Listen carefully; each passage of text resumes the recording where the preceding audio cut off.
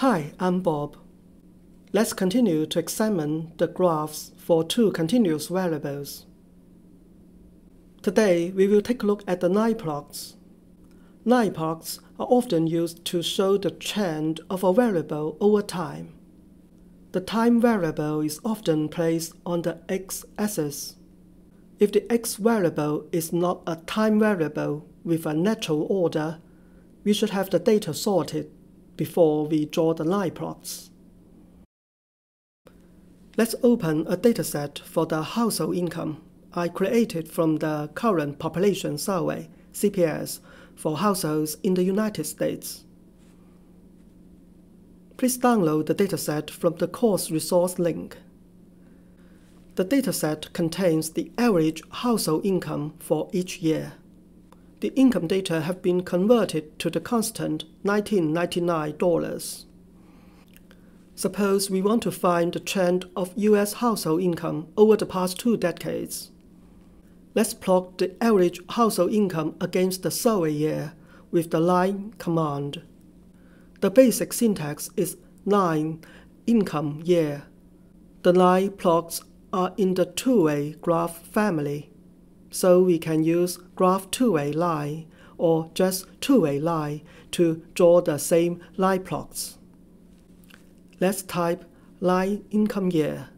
We see an increasing trend in household income over time. U.S. households experienced some real income drops from 2008 to 2011.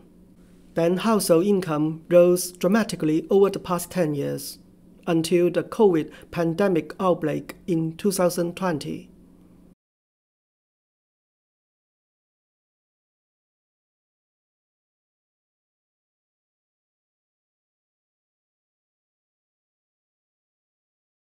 If we want to show the scatter plots with the line, we can use the scatter command with the connect line option. It means connecting with lines.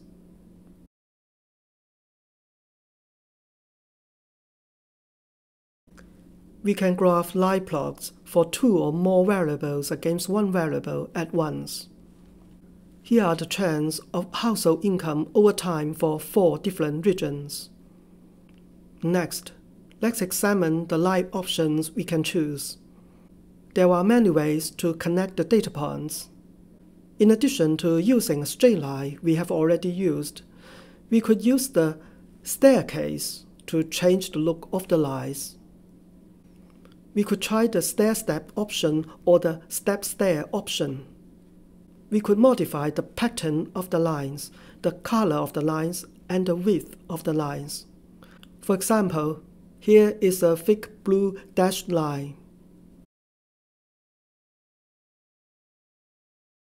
We should use the sort option when it is needed.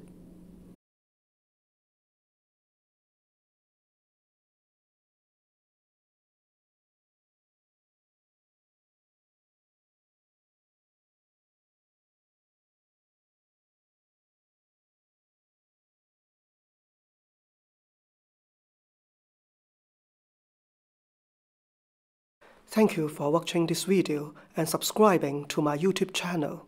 See you next time.